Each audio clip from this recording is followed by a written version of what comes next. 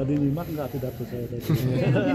Di situ aja masa saya harus mengorbankan integritas saya? Saya, harus melanggar melangkahi sumpah saya sejak awal. Dan ini saya saya ulangi lagi tadi ya. kami bersembilan ini termasuk saya. Kami tidak tunduk dan tidak takut pada siapa pun. Kami hanya tunduk pada konstitusi dan hanya takut kepada Tuhan yang Maha Kuasa. Itu, itu komitmen. Artinya walaupun mungkin nanti eh, keluarga dari Pak Jokowi ikut dalam kontestasi 2024 nanti dan bersengketa di MK, Nah, itu kan itu apa kan? bayangkan Nabi Muhammad.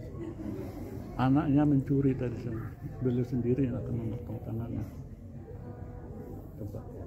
Itu anak apalagi ya kekerabatan atau keluarga yang lain.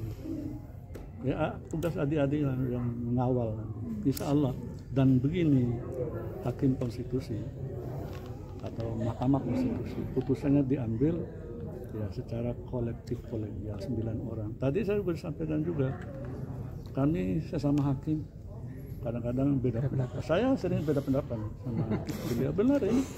Tetapi ya secara kelembagaan ya bahkan di luar lembaga saya panggil adinda jadi bukan karena beda pendapat dalam menuntut sesuatu lalu membuat jarak antara enggak.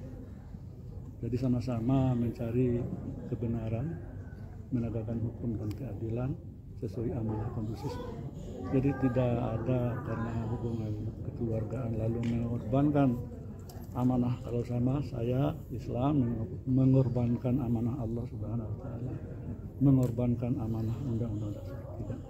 Kami ya terus terang udah ya, rekan-rekan media dalam berbagai putusan sudah melihat bagaimana yang melihat Rosadi tegar dengan pendapatnya. Saya juga begitu.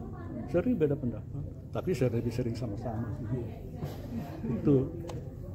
Jadi yang pasti saya ulangi lagi eh, putusan kami itu kan ya judulnya sama lah dengan lembaga peradilan lain demi keadilan berdasarkan ketuhanan yang maha esa